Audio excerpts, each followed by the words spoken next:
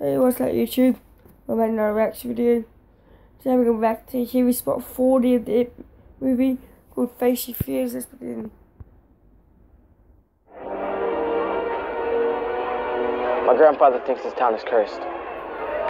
He says that all the bad things that happen in this town are because of one thing. But it can't be one thing. We all saw something different. Or maybe it knows what scares us most, and that's what we see. I, I, I saw a leper. He, he was like a walking infection.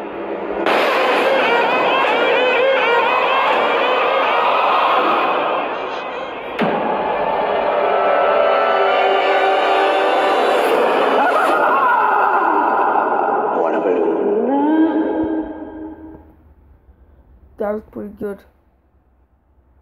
Anyway guys, I've been exercising this video. Peace out.